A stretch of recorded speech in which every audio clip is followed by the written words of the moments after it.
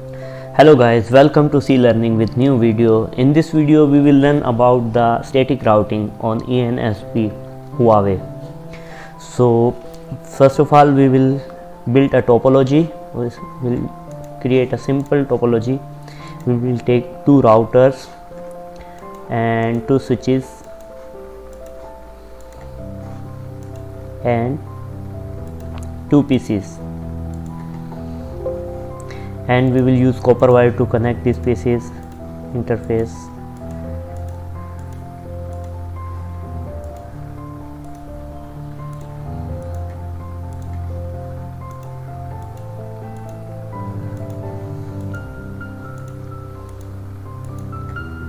We will start devices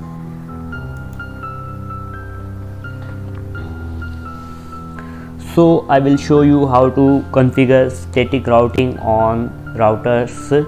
Uh, static routing is not used nowadays because of huge uh, uh space in it, it take huge space in routing table. So there are many protocols other protocol routing protocol which use nowadays like RIP and OSP, OSPF which we will learn uh, in next videos and now I will show you uh, static routing.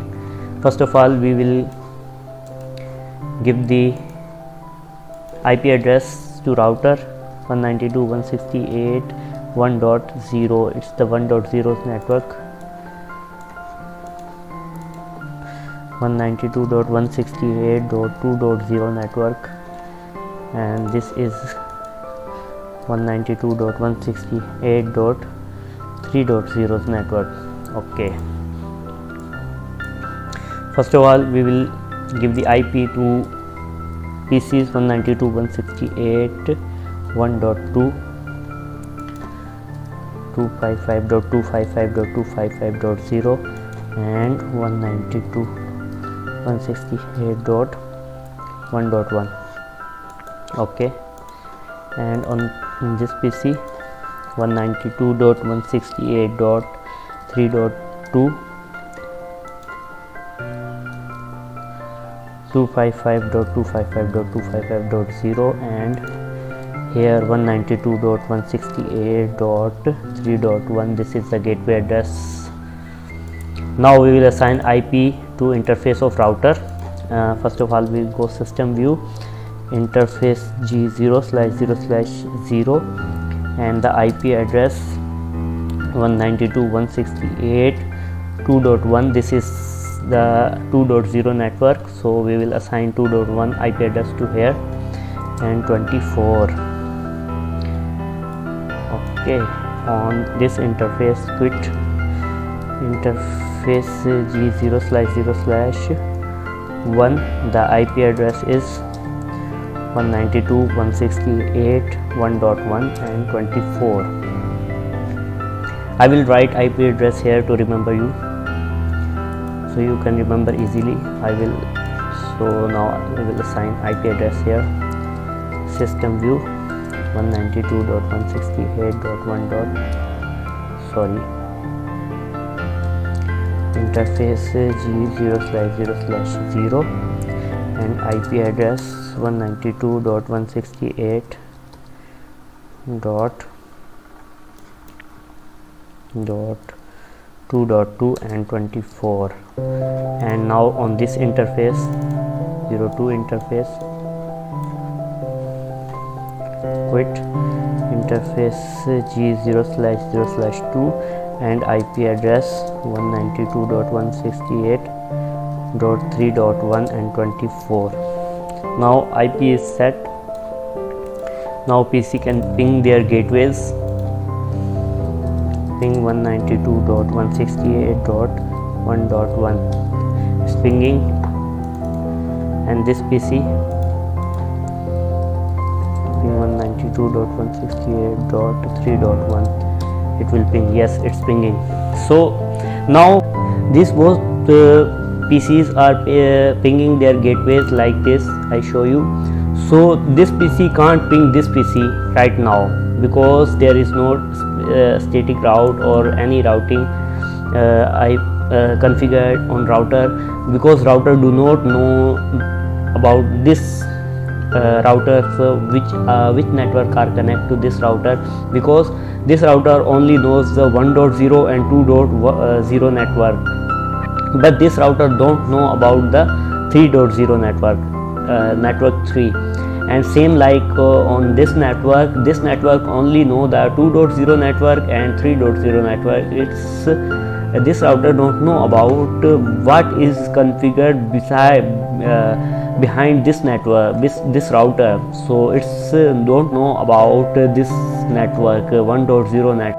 So static route uh, we will configure on this router to tell router that which or which networks are connected to neighbor routers and beyond this uh, neighbor router. So we will configure. Right now we will if we ping this pc it will not ping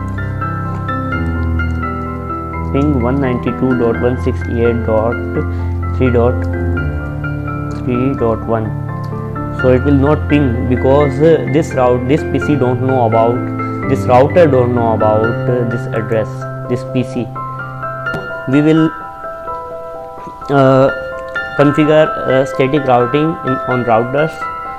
So for uh, configure static routing we have the separate entry for each route. So it's not uh, good because router take more space because uh, all paths have the separate entries on routing table. So it's a huge routing table and huge entries in routing table. So i will show you how to configure routing table. So in this router uh, in this router we will configure a static route like uh, something come from 3 uh, 3.0 network. In this from this network, any traffic will come to this router will go back through this path. Okay, we will tell this router that anything come from this this network will forward it to this path on this interface. This is the interface. Uh, this interface is 2.1 and this interface is 192.168. 2.2 so we will told this router that anything come from this side forward it to this interface 2.2 and we will tell this router that anything come from this network 1.0 network forward it to 2.1 on this interface of router. So we'll will tell the opposite side of router to router this router we will tell the opposite side and for this router we will tell this opposite side. So that's how static route work. So we configure uh, IP route static static 192.168.3.0 which is this network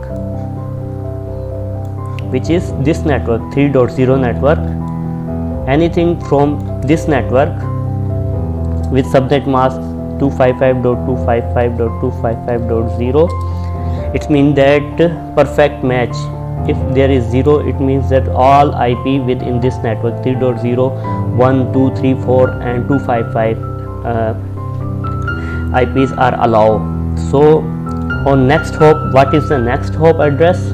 This is the network which are uh, we want to uh, allow this network and to which interface which interface of router this interface of router. So we will configure this ip address or we also we can configure this interface name like g000 okay?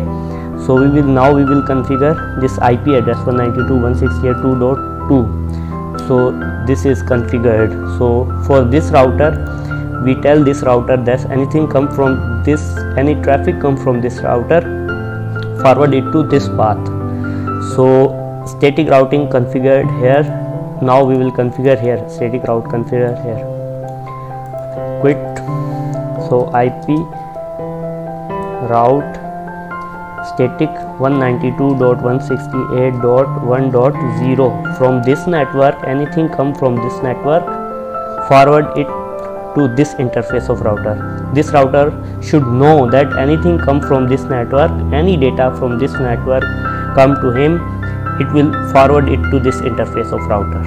So we will configure uh, 255.255.255.0 and next hop address is 192.168.2.1 this interface of router. So it's configured. Now the both pc will ping each other ping 192.160.1.1 sorry. Uh, 3.2 this PC's IP address. This PC's IP address. So this is pinging. So this PC can also ping that PC ping 192.168.1.2 2 so it's pinging for this PC both PCs are communicating each other. So that's how static routes work. Uh, that's all for today's video. Thank you